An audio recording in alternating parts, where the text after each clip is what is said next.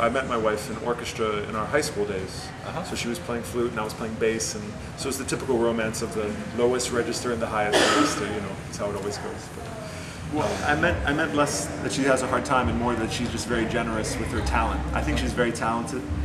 She doesn't have the most confidence, be honest. She doesn't feel very confident in her voice, which is crazy because here she is on these really successful Flying Lotus records, voice, and, yeah. and I think it's lovely. But it's funny she just she just doesn't realize it. I think. I try to tell her all the time, but I think because I'm I'm the husband, she doesn't believe me.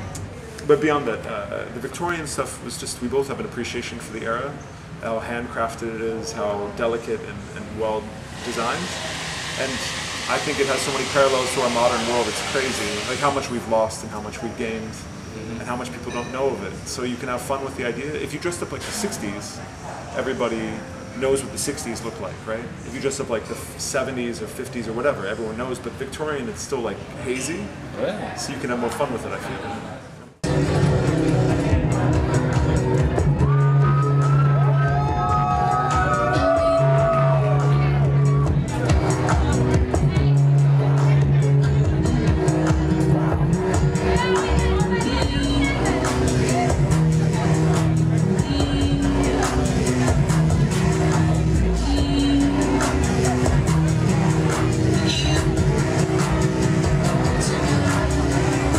So Righteous Fist of Harmony is my soundtrack to the Boxer Rebellion. Uh-huh. Do you know the Boxer Rebellion? The Boxer Rebellion was a war that happened between China and Great Britain and other countries as well in 1898 to 1901. Mm-hmm. It was when a group of Chinese nationalists wanted to push out the imperialist forces of the British out of mainland China.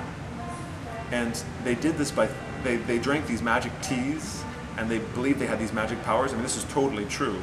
They believed they had all these magical powers to be able to be invulnerable to bullets and arrows, to fly, mm-hmm. to raise the dead amongst them, to fight their battles for them.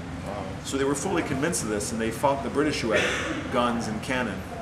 And 100,000 trained martial artists from the north all died, all perished. And so, as an inspiration, I mean, this is not only is this an, an insane story that rarely gets told, and very few people know the Boxer Rebellion because it was the same time as the Spanish-American War. It was all these other points of history kind of cloud our memory, but also just the fact that it was magic. People had magic, and they were fighting against, you know, this righteous cause. It's this crazy, crazy mix of things that make for this really inspiring moment in history. Even though it was all tragic, you know, it's like this Yeah, it's typical Daedelus then. The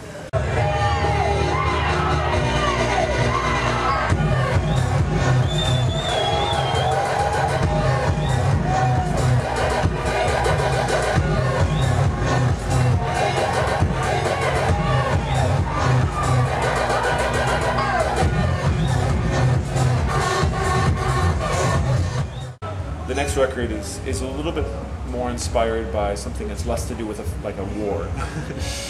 I really like this idea that over time we design our own reality. Mm-hmm. By the power of our own thought, we design our world.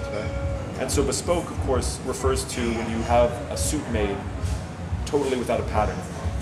That it's made from hand by a, a really good tailor who can make it totally to fit, fit you. You know, and I wanted the record to be like that. I want the record to fit people's reality. I want the record to to do this. And I thought one of the most important things is to have a lot of voices on the record because that speaks to people directly, even if it's not in English or you know in a language people understand. It speaks to them on a basic level, and also a lot of acoustic instruments like real drums and real instruments. So these are things that got me excited to make another record. So I, started to put on the soup, and it's making its own weird stew. Its own goulash, how about that? Yeah. its own weird hearty goulash. And then we put the bread in, we put the paprika in, and it's starting to get weird. Who are the collaborators? Uh, so far I've worked with Inara George from The Bird and the Bee. I don't know. It's just a kind of more pop group. Um, Milosh. Okay, so he's on the record, does a fantastic job. Uh, Amir Yaghmai, who also... is he singing? Oh yeah, Milosh? I love it. I love it. It's the first single off the record. Will probably be that song. It's very strong. I feel. His production is, is great as well. You know, it's funny opinion. because he he makes them smooth. Like he'll make. This is a I don't know if this this phrase translates, but he makes music that makes girls' panties drop. You know, Yeah. like really like Absolutely. make them swoon. But if you meet him in person, he's like one of the nerdiest guys you ever meet. Really? Yeah, he does it. His music it's like wow, like he's like R and B, like he's like R. Kelly, but like well, not entirely. I tease, I tease. Um, and and so and then I have other guest vocalists and stuff too. I have Oma, Om'Mas Keith from Sa-Ra. He's guesting on the song, and I have Amir Yaghmai from Jogger, who also was on Righteous Fist of Harmony. He's on the record right now, and I'm looking to have my wife on there probably. It's kind of a typical. You need to encourage her.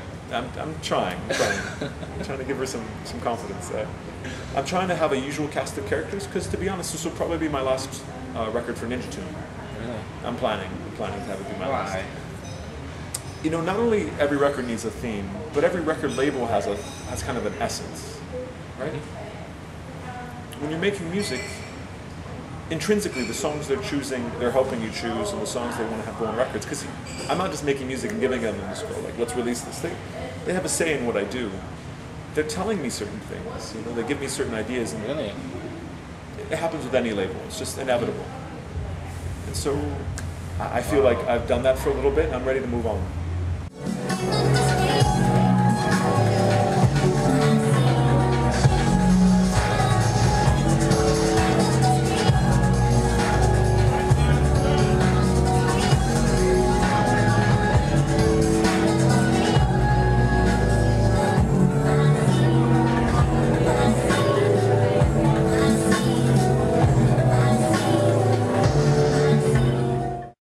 Why make a record unless you have inspiration?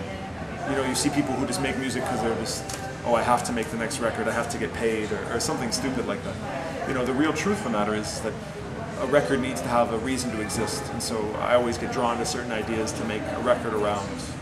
Um, be it samba music, or be it Wales, or the country of Wales, sorry, or, or invention, or something. You know, there's always a reason.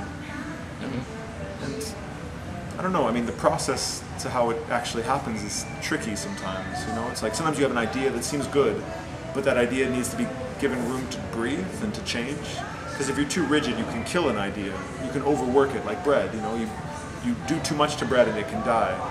Same thing with musical thoughts. You do too much processing, too many effects, too much pushing and poking, and it dies on the table. You gotta be careful with that. And um, how, how do you find these these ideas? So Oh. what inspires you? You know, I I think I'm like anybody. I'm curious. I read, I watch, I listen. All these things go Like into a soup. Well, like, uh, for instance, uh, books. I really like reading apocalyptic science fiction novels. What kind of Apocalyptic?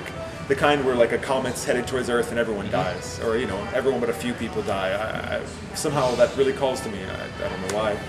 And then films, I like Japanese animation a lot. Uh, things like Akira or Astro Boy or uh, My Neighbor Totoro or things like that. So it has nothing to do with my music though, right? Nothing. And yet it has everything because these are all things that you pull from subconsciously. So be it sound design from one of these movies or, or just the concept of disaster or, or ill will. These are all things that get fed into the soup, I guess. I, you know, I'll be totally honest. I try to stay somewhat unconscious about what inspires me because as soon as you feel like you, you know what it is, then it's a dead idea. You need to give it room, you know? If I really knew what I was doing, I wouldn't do it.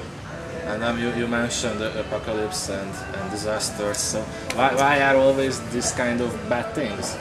Well, well, two things. Daedalus, uh, my namesake, I like him a lot because he's a tragic character. Yeah.